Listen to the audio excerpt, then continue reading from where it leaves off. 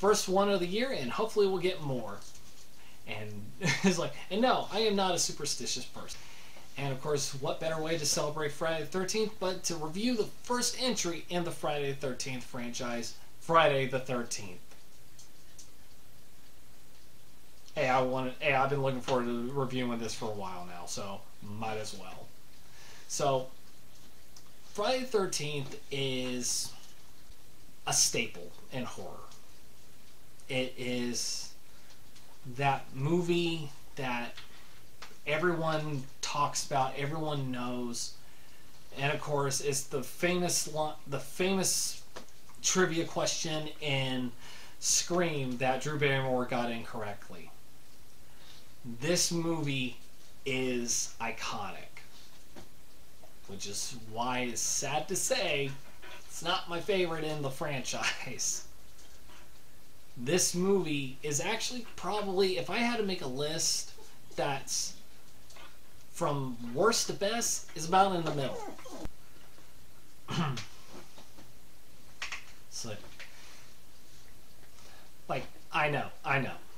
Blasphemy for me to say it's not my favorite, but it's not. But it, that doesn't make it a bad movie. It really isn't. It's just when you when you got about 10 to 11 more entries in this, you're eventually going to get something better. And this movie is still pretty good. So the story is a camp has just oh, Camp Crystal Lake has just opened back up or is start about to be opened back up. Mr. Christie, the owner, has a group of college students making or rebuilding the camp to make it presentable for the kids. Unfortunately, someone is going out there and trying to sabotage the whole thing by killing the count- counselors one, at a, one after the other. And of course, there's the legend of Jason, who was a boy, boy that drowned in 1957. And of course, two counselors died the year the next year.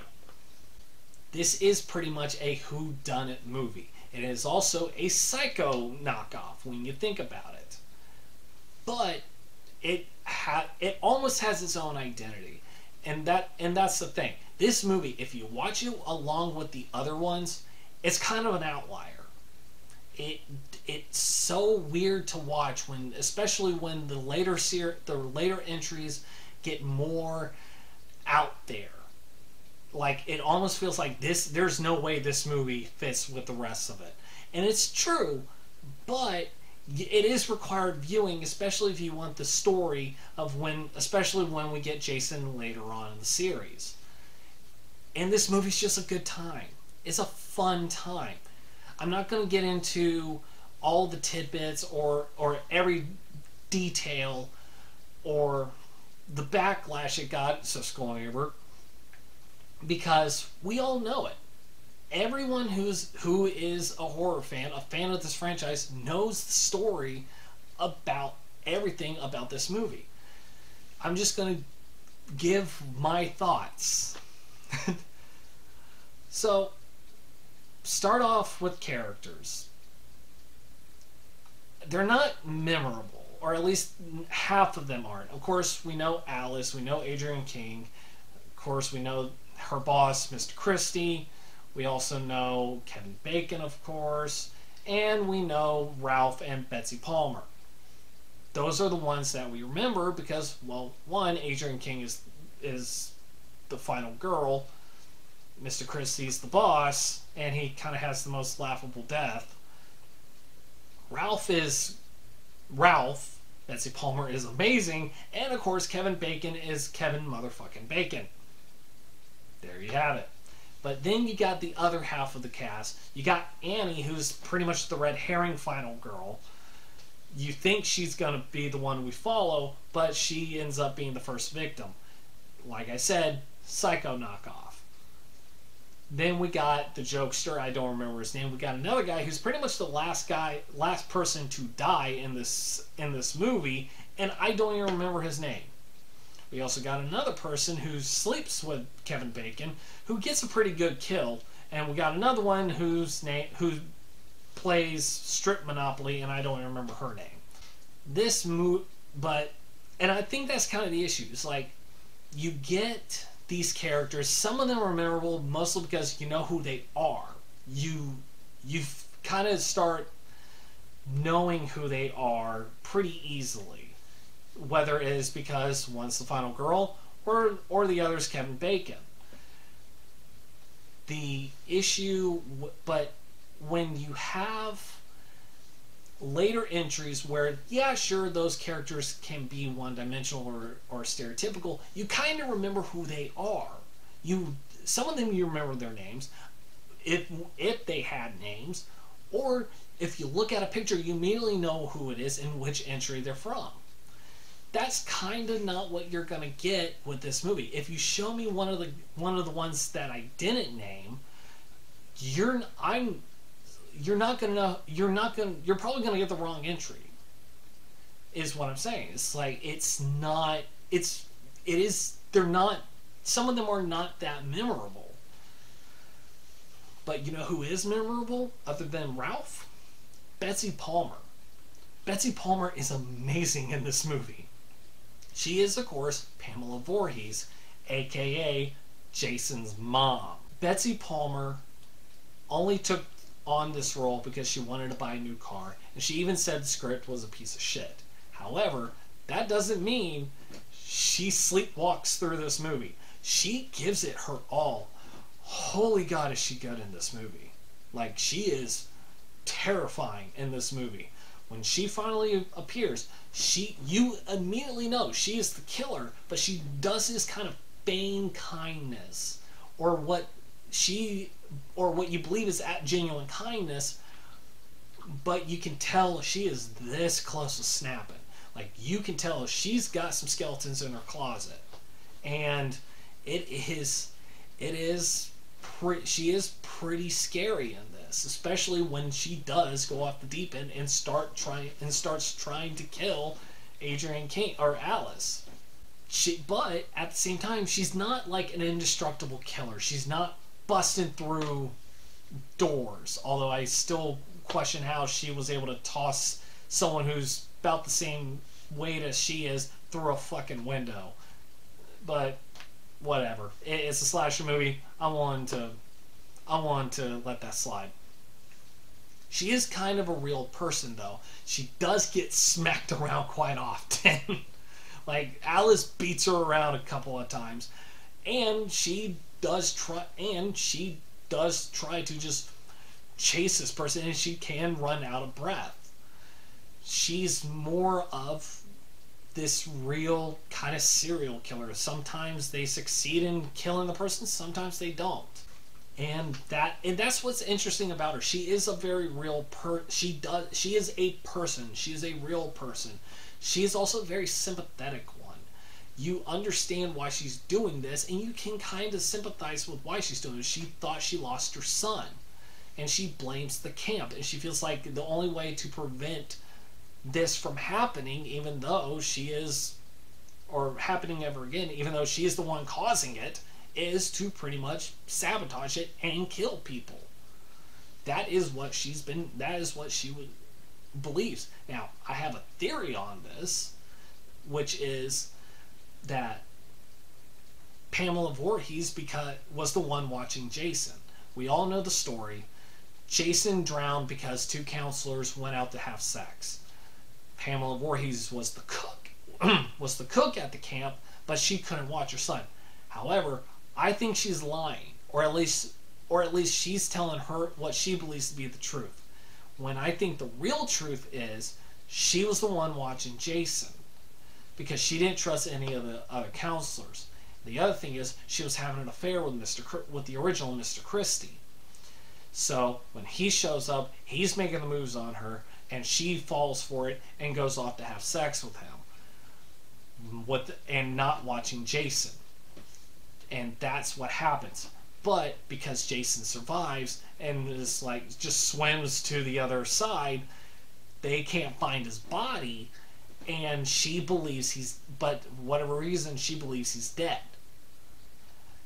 And she but because the guilt is so is too much for her to bear she blames the counselors more than she blames herself.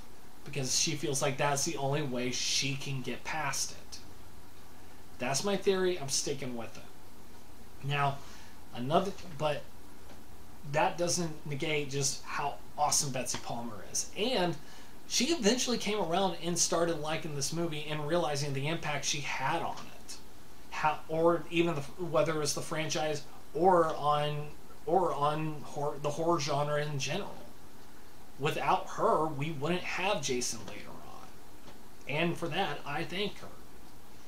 Now, the music is good. It is it is like the rest of the movie a psycho knockoff.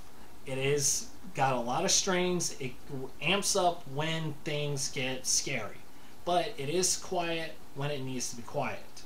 And Harry and Harry Manfred, Manfredini is the go-to guy for this franchise. You can't. It's like when you think of Friday the Thirteenth soundtrack, he's the he's the one you go. He's the one you think about. It's just he he really. It's clear he really loves this franchise and really loves m- making the music for each entry. And each entry does sound different. Uh, when when the situation calls for it, or not the situation, but depending on what the tone of the of the movie is at that time. Uh, the gore effects are great.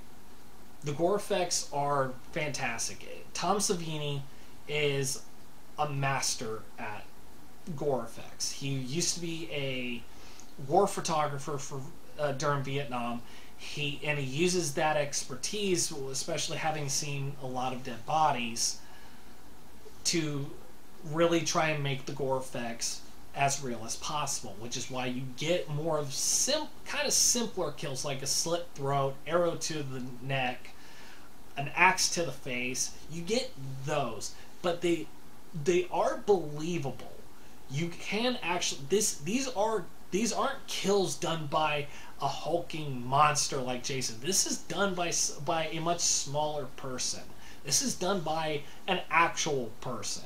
So it is so it is possible that these kills that's probably why these kills look so good even even though they're very very simple would and but because but this is kind of also what got Tom Savini's name on the map other than Maniac. Another thing uh, is the camera work is fine. It's there it's very simple. It's not trying to be intricate it's not trying to do anything fancy. It just it gives the shots that it needs and able to convey the atmosphere when it needs to. Uh, of course, the camera work involving going from Pamela Voorhees' point of view is pretty good too. Even though you kind of start figuring, even though like the moment she appears, you kind of figure out it's her just by looking at her hands. But it is still it is still pretty good because you are seeing this like some of the movie through the eyes of the of a predator. she's a predator. She's stalking her prey because they're in an air in her territory basically. But if there is one issue I have is some scenes drag on too long. I understand trying like they're conveying the whole building up suspense that's fine. Those scenes are fine. It's more the scenes where that don't require that aren't really building up suspense, like the scenes with Mr. Christie where he's in the diner. He it doesn't need to be as long as it is. It it felt very long. There's he's not about to be killed there. All all it could have been is like he just he's leaving the diner and then he's off off to try and get uh, and he's riding back off to his jeep. That's when you can start stretching the scenes out. There are just times where the scenes really didn't need to be as long as they are. And I think that really kind of hurts the movie a bit. And it's also kind of why I consider it more in the middle than one of my favorites. That doesn't mean this, uh, like I said, this movie's not bad. It's good. It is good. It is, and it's a comfort movie for me. I watch this movie quite often because it is a fun time. Like, and it's pretty much what what this movie does is have a good time. And sometimes that's all you need. You don't need anything fancy. You don't need anything to help you think. You just need you just need to let off some steam and watch a horror movie. That's what I do. That's why I always that's why I put on Friday the 13th or Halloween or Nightmare on Elm Street 2. I do it because I just want a good time. Which is why I give Friday the 13th, the original, a bloodtastic, slasherific 7 out of 10. This movie is a lot of fun. The editing could be could have had a little work done. The music is memorable. The characters are half and half. Betsy Palmer is amazing in this movie. Kevin Bacon is of course cool. And the gore effects are really really awesome. And but it's an it's an iconic movie, especially for us horror fans, because it helps bring helps build up the legend that would eventually be Jason. And of course, we'll get to that when we get when on the next Friday the 13th. But if you're wondering where you can find this, it is a little bit difficult, especially if you're trying to stream. It, I know it's on Amazon Prime. You can also get it on Hulu if you have the Stars package, which I don't recommend. However, you can get it on YouTube for about maybe 10 bucks, maybe even less if you want to purchase it, even less than that if you want to rent it. However, for me personally, I own three copies of this movie. And boy are they were they worth it. This of course is the 2003 deluxe edition with the uncut version, which is the one I've watched that I got when the remake was coming out. This, unfortunately, I don't think is actually available anymore. It's not run. There's no uh, no sale of it, so you're out of luck. However, I also have the eight movie collection, especially if you want to get something for about twenty bucks, maybe maybe five bucks more than that, where it has only the first eight movies because this was during the rights issue that between Paramount and New Line Cinema. So if you're gonna get Friday the 13th, you're only gonna only gonna get the first eight movies which have the Friday the 13th title, and not the New Line Cinema ones like Jason Goes to Hell or Jason X. But the one I did watch, or the version I did I did watch for this review, is the Shout Factory or the Scream Factory version that comes with Friday the 13th movie Blu-ray collection. This is actually a really good restoration, very crisp, very clean, and plenty of special features. Even if it is kind of the same features that you see on the others, there are still a couple of bonus extras. And I do recommend the the collection itself. Scream Scream Factory or Shout Factory is a really good company that does that loves making restorations of movies, including horror, and I and I have bought more than my fair share of them. Now they are hard to come by, but you can actually find this on you can find the collection on Amazon for about hundred dollars. I think even less than that now. But you'll have to check yourself. Well, that's it for me, guys. If you like this video, please let me know in the comments below. Hit that like and subscribe button. And please remember, I am on Twitter, Letterboxd, and Slasher at The Occulture Critic. And I'm also on twitch.tv slash AidenKing30 where I stream where I stream video games every Monday and Friday. And I'm of course Adam the Occulture Critic. I get scared because I don't care. And please ha have a safe Friday the 13th, especially during the, these trying times. And remember and remember to wear a mask, because if you don't, you're doomed.